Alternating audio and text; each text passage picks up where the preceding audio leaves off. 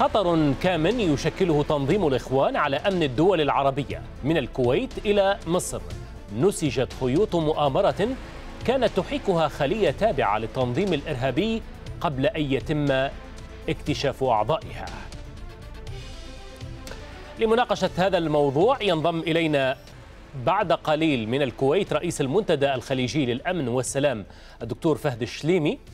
ومن القاهرة عضو مجلس النواب المصري مصطفى بكري ومن واشنطن المسؤول السابق في الاستخبارات الأمريكية نورمان رول. أهلا بكما ضيوفي الكرام جميعا. أبدأ معك سيد مصطفى بكري من من القاهرة. هل نحن أمام مجرد خلية إخوانية هاربة من العدالة المصرية أم أن القضية أخطر وأبعد من ذلك بكثير؟ من المؤكد أن القراءة الموضوعية للتنظيم الدولي لجماعة الإخوان تدرك أن هذا التنظيم لا وطن له فهو يعتبر أن العقيدة هي الجنسية بالأساس. ومن ثم فإن التحرك على الساحة العربية والساحة الدولية هو واحد من الثوابت الهامة لدى تنظيم جماعة الإخوان وتحديدا التنظيم الدولي الذي يرأسه أيضا المرشد العام للجماعة في مصر الدكتور محمد بديع.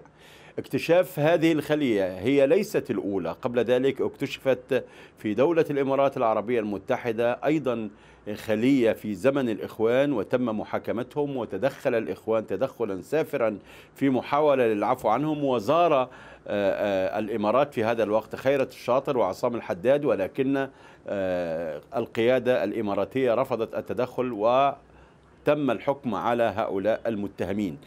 الخلية الكويتية الحقيقة أولا هؤلاء هاربين من أحكام قضائية صدرت في مصر. أرادوا أيضا أن يستغلوا الأجواء الموجودة في الكويت حيث يتواجد عدد كبير من المصريين في الكويت وبالذات من أبناء الصعيد في منطقة غيطان وغيرها وغيرها.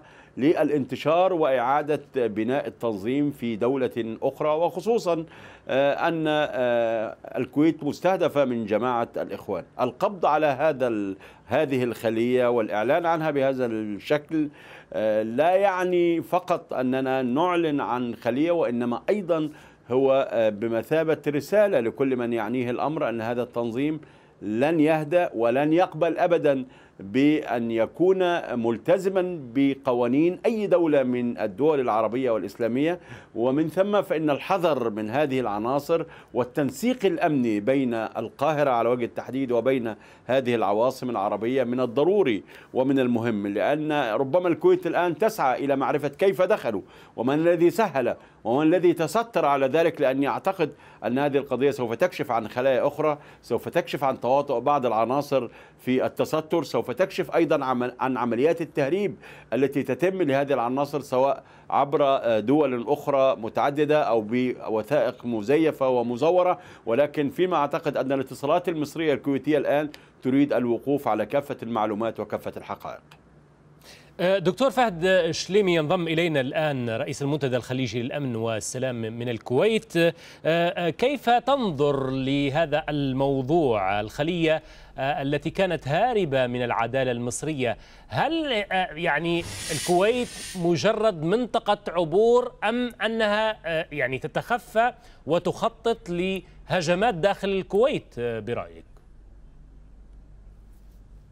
بسم الله الرحمن الرحيم. اولا نشكر سلطات الأمن الكويتية الحقيقة على سرعة الإجراء والقبض على هؤلاء الإرهابيين. النقطة الثانية لو تلاحظ السياسة الكويتية هي دائما الكويتيين لا يفصحون في معظم الأحيان عن عمليات الإبعاد. هالمرة هذه لا أراد الكويتيون أن يوجهون رسالة الحكومة الكويتية أرادت أن توجه رسالة واضحة أن الكويت لن تسمح بأن تكون مأوى للإرهابيين أو المطاردين. هذا رقم واحد. الرسالة الثانية أن الكويت تلتزم باتفاقياتها. نحن موقعين مع الأخوة في مصر واللي وقعها اللي هو اتفاق تبادل المجرمين واللي و... أو المتهمين اللي وقعها الأخ الدكتور فالح العزب آه وزير العدل الكويتي آنذاك. فقانونيا ودستوريا أنت في السيف سايد النقطة الثالثة الإعلان بهذا الحجم يعطي رسالة لدول أخرى. قد تؤوي إرهابيين بأننا الحقيقة سوف نحاول أن نمنع تسرب هذه العناصر. أعتقد من هي هذه الدول الموجهة إليها الرسالة دكتور فهد؟ يعني تنظيم الإخوان يتواجد في قطر ويتواجد في تركيا ويتواجد في ماليزيا بشكل أكبر لكن من طبيعة هؤلاء الأشخاص م. هؤلاء الأشخاص لم يكونوا قيادات من الدرجة الأولى أو الثانية. هذه عناصر إجرامية نفذت عمليات وأرادت اللجوء إلى سيف هاوس ملجأ آمن. السؤال في الكويت من الذي أدخلهم؟ هل تم إدخالهم قبل نشرة الإنتربول؟ أم بعد نشرة الإنتربول؟ من الذي آه، آه، جعل لهم الملجأ والوظيفة؟ من تعاملوا معه كمان أنت لازم تعرف اتصالاتهم الفيسبوك م. التويتر الواتس اتصلوا مع من؟ الدولة التي اتصلوا فيها بشكل كثير التحويلات المالية. فيه لازم نسألهم طيب. هؤلاء المتهمين 99 سؤال للإجابة لكي نحصل على سأعود إليك فيما يخص هذه التساؤلات يعني والاحتمالات. ما يعني إلى أين توجه الاتهامات تحديدا في الكويت ولكن بعد قليل؟ دعني يعني أنقل السؤال للسيد نورمان رول. كيف تنظر واشنطن لتحركات الخلايا الإخوانية خصوصا في دول الخليج الحليفة لواشنطن برأيك؟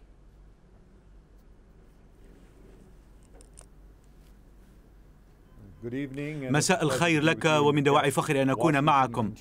آه، طبعا واشنطن لا تزال ترى الإخوان المسلمين كتنظيم إرهابي وأكدت مرارا بأن الدول عليها أن تفعل كل ما في وسعها لمنع هذا الحزب ولطرد أيضا أعضائه واشنطن كان لديها علاقة قوية جدا بشأن القضايا الأمنية مع حكومة الكويت.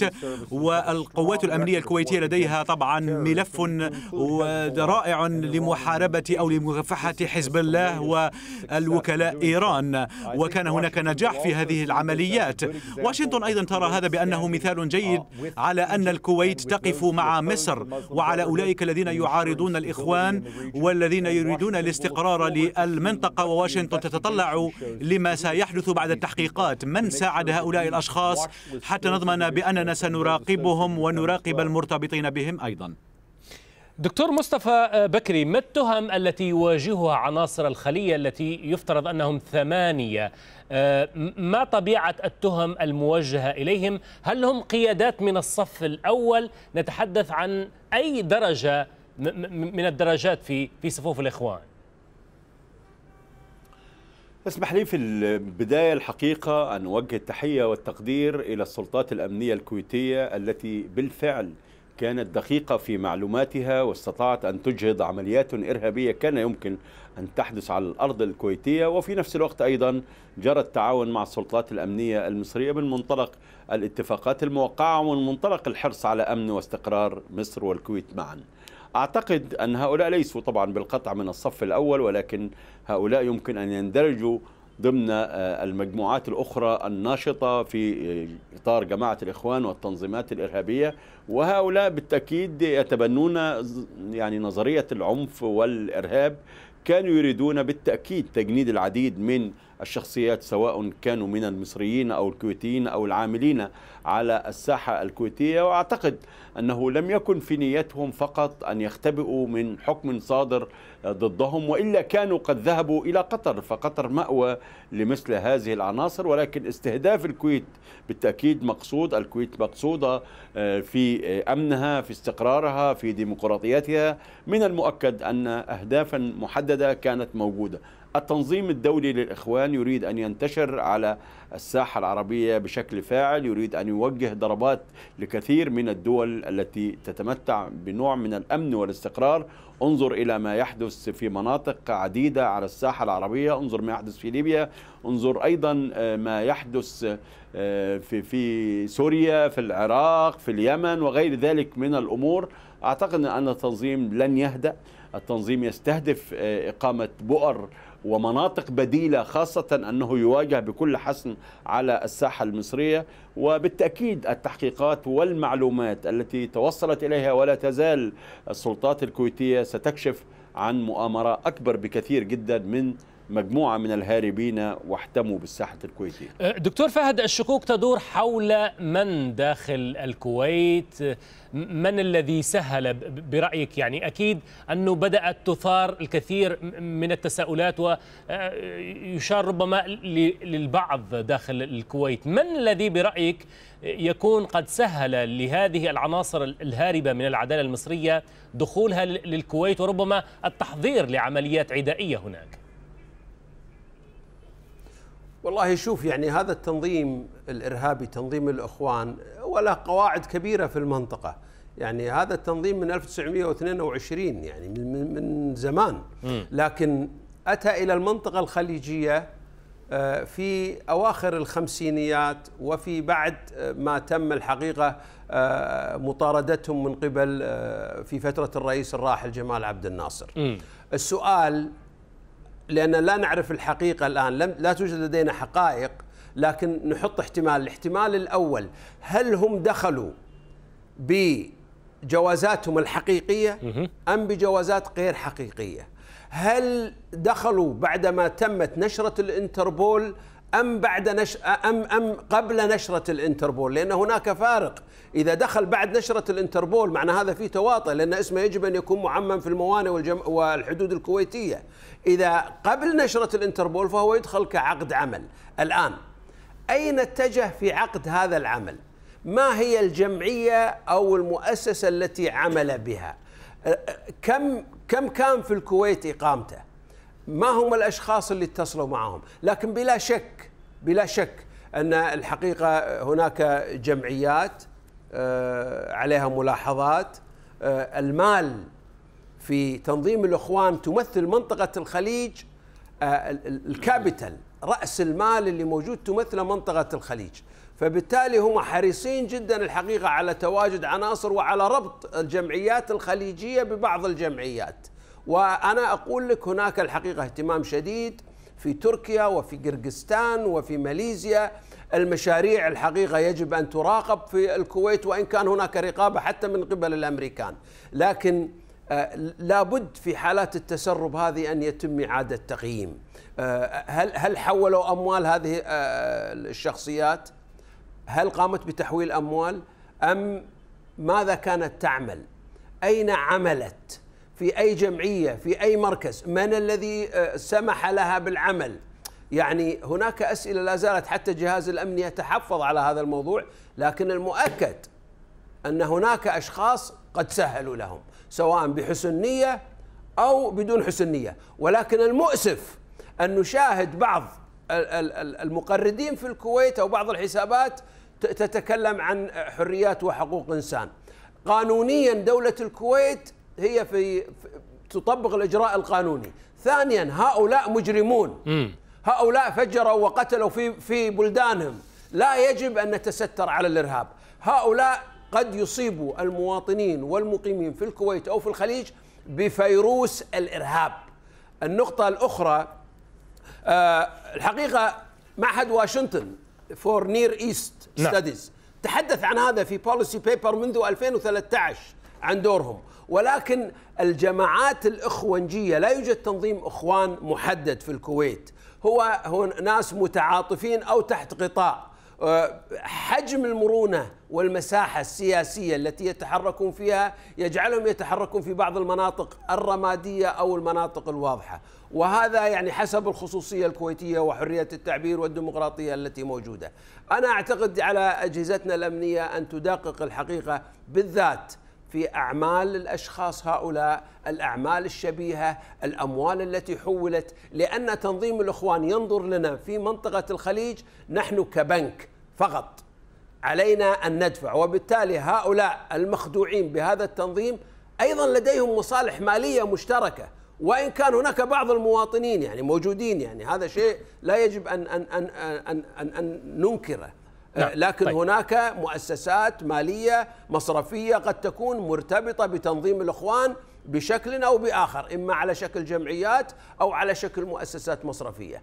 الحكومة الكويتية أعتقد عليها أن تدقق أكثر بالرغم من أن هناك إجراءات حازمة الحقيقة قامت فيها الحكومة الكويتية وخصوصا في آه، لجنة آه، تجفيف مصادر تمويل الإرهاب العالمية. طيب آه، دعني أنقل هذه الفكرة للسيد نورمان رول البعض كما يقول الدكتور فهد الشليمي يرافع آه، من أجل حقوق الإنسان وانه هذه الجماعات هي يعني جماعات رأي سياسي، هل يتعلق الأمر بحقوق الإنسان أم أنه لا يجب التساهل البتة مع خلايا قد تزعزع الأمن والاستقرار في دول المنطقة؟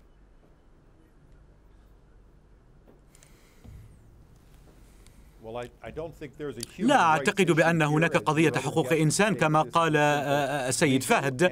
هذا الأمر قانوني وهي قضية أمنية وهي في القانون الكويتي.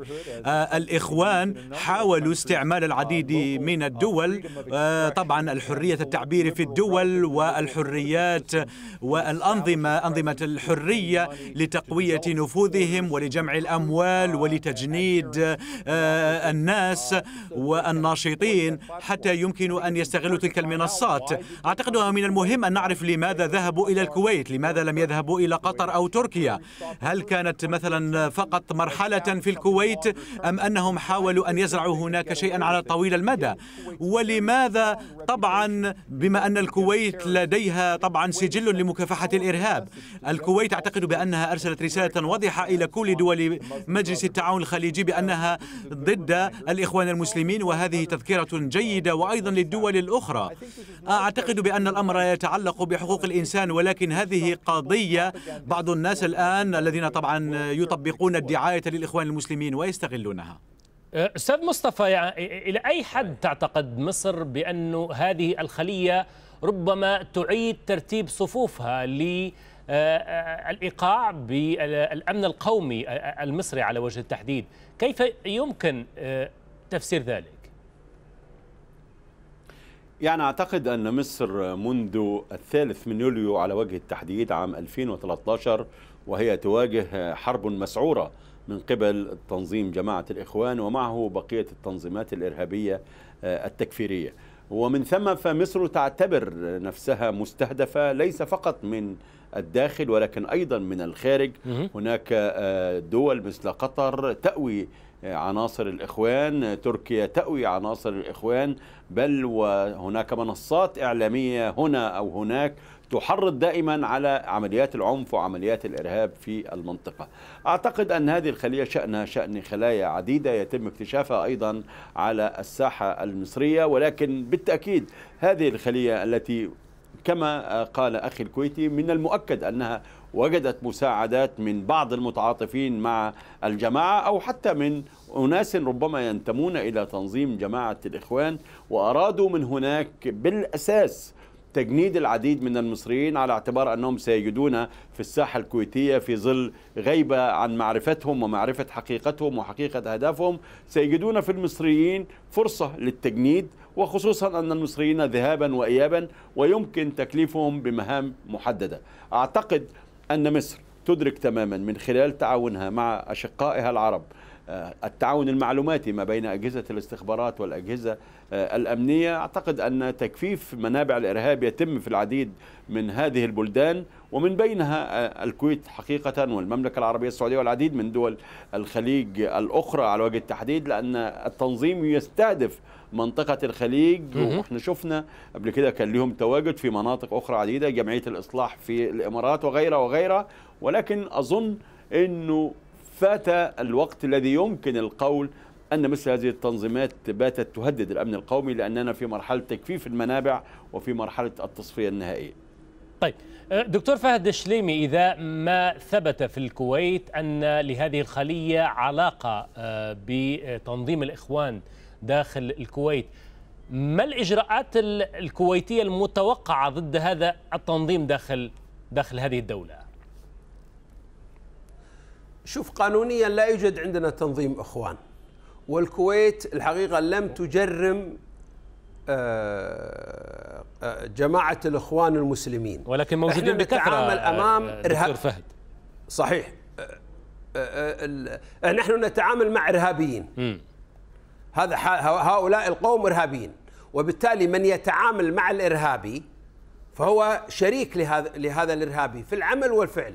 من يمول هذا الإرهابي فهو شريك له هذا هو القانون من يعطي ملجأ لهذا الإرهابي أو وظيفة لهذا الإرهابي فهو شريك فيه فهؤلاء المجموعة الإرهابية إذا ثبت أن هناك مواطنين أو غير مواطنين متعاونين معهم وبفعل متعمد فهو شريك في الإرهاب سواء في تمويله أو في مساعدة الإرهابيين. النقطة الثانية الطبيعة الكويت لا توجد شيء اسمه الإخوان المسلمين، لا لأنه لا توجد أحزاب، الدستور لا يسمح بالأحزاب، في مجموعات ضغط أو مجموعات الحقيقة تتجمع. ويتخذ الإخوان المسلمين وسيلة لجذب الأموال وشفطها من الناس. هي عبر بعض الجمعيات الخيرية. وبالتالي قد تصبح بعض الجمعيات الخيرية الكثيرة عندنا في الكويت مأوى لهم للوظيفة أو لتحويل الأموال. سوف يعني نشاهد الحقيقة بعض المعلومات في المستقبل على إذا كان هناك تحويلات أم كان لديهم ريكروتمنت تجنيد لآخرين. أنا أتوقع راح يحصلون الأمن الكويتي راح يحصل معلومات كثيرة. نحن في الكويت نعتقد أن أمن مصر مهم جدا وبالتالي نحن ندعم الأمن المصري واتفاقيات كاملة مع الأخوة في مصر وفي العديد من من الدول، لا يجب أن نسمح للإرهاب أن يضرب مناطق أو دول عربية أو أجنبية، ولا يجب أن نسمح للإرهابيين حتى أن يتعدوا أو يؤذوا حتى أمريكا أو غير أمريكا من الدول الكبرى، الإرهاب هو إرهاب. الإرهاب هو الإضرار بالناس وبالتالي أعتقد هذه هي فلسفة الحكومة الكويتية وخصوصا لما أظهرت بيانها الواضح والصريح والذي يقول ان, أن أنهم لن يسمحوا لهذه العمليات وعبر وسائل الإعلام هناك دكتور فهد اسمح لي على, على المقاطعة يعني من يراهن على أن فضل. الكويت واحه للديمقراطية خصوصا في الخليج وبالتالي نعم. يقول بأن الكويت ستكون متساهلة مع هذه الجماعات سواء كانوا فرادى سواء كانوا منظمين وإن كان يعني يكونون ربما في الإطار الفكري أكثر من أي شيء آخر. إلى أي حد بالفعل الكويت سوف تكون حازمة ولن تتساهل وبالتالي تقديم رسالة لكل من يعتقد بأن الكويت ستكون واحة فيما يسمونه ديمقراطية في حين أن هناك واحة للفكر المتطرف. صحيح الكويت بلد ديمقراطي ومفتوح لكن لا تنسى إحنا كمان أمام قانون لا يجب أن نمسك أي شخص ونرميه. يجب أن يكون وفق أنظمة وقوانين موجودة. هؤلاء المجموعة بعثت بعث الأخوة في مصر لائحة الاتهام عبر الإنتربول الدولي وبالتالي هم مجرمين دوليين وصدرت فيهم نشرة وعلينا تسليمهم. الآن من احتك أو تعامل معهم يجب أن يحقق معه. هل هو بحسن نية أو بغير حسن نية؟ بالتالي الكويت يجب أن تطبق الإجراءات القانونية. كمان إحنا يجب أن نحمي. لا نقبل أن يتم الأخذ أي شخص ورميه بتهمة الإرهاب بدون أن ما تكون هناك محاكمات، هكذا هو القانون في الكويت، أنا أعتقد الكويت هي راح تدقق وراح تمحص وهناك العديد من الأشخاص قد يتم استدعائهم لكن الكويت فعلا تتمتع بمناخ ديمقراطي ولكن بنفس الوقت الديمقراطية تحارب الإرهاب، الديمقراطية لا تشجع الإرهاب، ولكن الديمقراطية تحفظ حقوق الناس حتى المتهم وإن كان كويتي أو غير كويتي تحفظ حقوقه إلى أن تثبت عليه إجراءات التقاضي القانونية الثلاث وبالتالي يصدر عليه حكم. هكذا الكويت يعني تتعامل في هذا الموضوع وبالتالي الآخرين ينظرون أن والله هناك تساهل, تساهل. لا الكويت تطبق قانون موجود لديها وهذا القانون الكل مقتنع فيه وهو يحمل المواطن والمقيم ويقدم ضمانات المحاكمة العادلة للمتهمين. وهذا هو المطلوب من كل دولة. طيب. أن, أن, أن, أن يتم محاكمة الأشخاص وهذا ما حصل الآن. إذا رحلوا إلى مصر سوف تتم محاكمتهم من جديد وتترك لهم ثلاث إجراءات تقاضي. بالتالي هو القانون المصري جزء من الحقيقة القانون الكويتي. إحنا خذيناه من القانون المصري حتى الدستور. بالتالي في توافق كبير بيننا وبين الأخوة في مصر. نعم. سيد نورمان رول من خلال هذه الخلية التي تم القبض عليها في الكويت واضح أنه الإخوان كما قال الدكتور مصطفى بكري قبل قليل قال بأنه واضح أنه الإخوان يحاولون بشكل أو, أو بآخر إعادة ترتيب صفوفهم إعادة التموضع لإحداث قلقلة في دول كبرى أساسية محورية حليفة للولايات المتحدة الأمريكية. إلى أين وصل موضوع تصنيف جماعة الإخوان المسلمين كجماعة إرهابية في الولايات المتحدة الأمريكية؟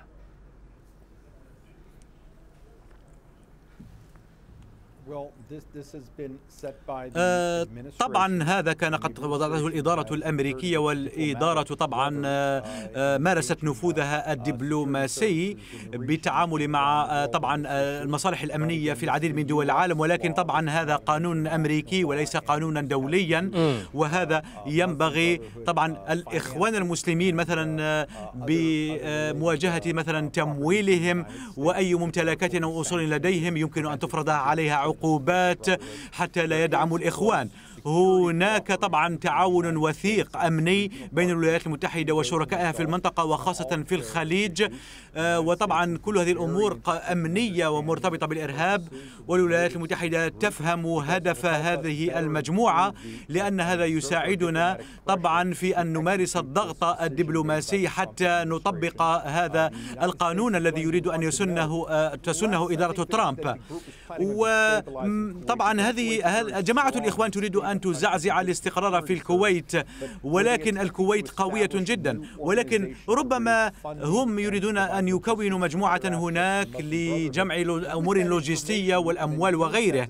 وبهذه المعلومات يمكن أن نعرف ما يفعلونه في دول أخرى وما يحاولون آه، أن يفعلوه للحفاظ على آه، هذه المجموعة لتبقى على قيد الحياة. سيد مصطفى بكري يعني ما العقوبات المنتظرة في حق الذين تم جلبهم من من من الكويت هذه الخلية أه، هل يمكن أن نعرف على الأقل ما طبيعة العقوبات التي يمكن أن يواجهونها داخل مصر؟ اسمح لي بداية أن أقول أن الديمقراطية في الكويت لا تعني تجاهل القانون بأي حال من الأحوال وأظن أن الديمقراطية الكويتية سوف تساعد على الاحتكام إلى القوانين المرعية ما بين مصر أو الاتفاقات ما بين مصر والكويت وفي نفس الوقت إخضاعهم إذا ما كانوا قد ارتكبوا جريمة على الأرض الكويتية أيضا للقانون الكويتي ليحاكموا وإلا ما كانت هذه الضجة التي أعلنت بها الكويت هذا الحدث الخطير. كان ممكن آه، الانتظار أو تغاضي الأمر لولا أنه وجد لدى المحققين الكويتيين معلومات خطيرة تهدد أولا أمن الكويت واستقرارها وفي نفس الوقت أيضا أعمالا إرهابية ارتكبت على الأرض المصرية. أي عمل إرهابي ارتكب على الأرض المصرية يكون القانون المصري خصوصا إذا ما كان ارتكب واحتكم فيه إلى السلاح الإعدام هو آه، آه، آه، العقوبة التي تنتظر هؤلاء. إذا كان هناك تحريض أو انتماء لتنظيم فالعقوبات تتراوح ما بين يعني أشغال مؤقتة إلى أشغال شاقة مؤبدة. ولكن في كل الأحوال أتصور أنه بعد الانتهاء الكويت ستتعاون مع مصر بكل ما تملك من معلومات أظن أن الحكومة أو الجهات التحقيق الكويتية لن تتوقف عند الحدث ذاته أو عند المتهمين الثمانية ذاتهم لأن آه، البيان أعلن أنه سيتم التحقيق مع من تستر ومن آوى هؤلاء ومن أمدهم بأي سبيل من آه، سبل المعاونة. ومن ثم فإن القضية مفتوحة على الأرض الكويتية وأيضا هي بالأساس مفتوحة على الأرض المصرية. دكتور فهد شليمي إلى أين يمكن أن توصلنا آه، آه، هذا هذه هذا الموضوع هذه القضية؟ خصوصا وأنه اكتشفت الكثير من الخلايا داخل الكويت خلية العبدلي والكثير من الأحداث التي وقعت أساسا داخل الكويت. إلى أي يعني آه، يمكن إلى أي مدى يمكن أن توصلنا إلى بعض الأمور المتعلقة بمكافحة الإرهاب وما إلى ذلك؟ أنا أعتقد هذا كريدت هذا نجاح لدولة الكويت وللقوات الأمنية في دولة الكويت وحتى للاستخبارات العسكرية يعني. الاستخبارات العسكرية الكويتية ساهمت الحقيقة في كشف خلية كبيرة جدا إرهابية ولكن لقانونية الضبطية القضائية تسلم إلى الوزارات المختصة وهي وزارة الداخلية. أعتقد أن الكويت أثبتت كفاءتها ونجاح عناصرها الأمنية في في إلقاء القبض على هذه المجموعات. النقطة الأخرى التعاون الأمني أكيد قائم بين الكويت ودول الجوار، أكيد حسب اتفاق الجامعة العربية وهناك لجنة عربية لمكافحة الإرهاب بالذات مع الأخوة المصريين، يعني الأمن الكويتي تدرب على الحقيقة قيادات موجودة سابقة كانت دربت الأمن الكويتي قيادات مصرية. آه، أعتقد أن الكل يحارب الإرهاب الآن حتى المواطن العادي. الإعلام يحارب الإرهاب. الأيديولوجية الإرهاب وأيديولوجية الأحزاب المتطرفة أصبحت تتقلص. وجود وسائل التواصل الاجتماعي جعل من الصعب أن يتم إخفاء أي حدث إرهابي أو التستر على أي إرهابي. الكويت لن تتستر على الإرهاب. الكويت سوف تتعامل بالقانون الدولي والمحلي ولكن إعطاء ضمانات لكل المتهمين لكي تكون هناك محاكمات عادلة إن كانت في الكويت. نعم. أما إذا يتم تسليمهم لمصر فهم رعايا مصريين وهم إرهابيين وتتعامل معهم مصر بقانونها المعروف. شكرا جزيلا لك دكتور فهد الشليمي رئيس المنتدى الخليجي للأمن والسلام. كنت معنا من الكويت. أشكر من القاهرة عضو مجلس النواب المصري مصطفى بكري. ومن واشنطن المسؤول السابق في الاستخبارات الأمريكية نورمان روي. شكرا لكم جميعا.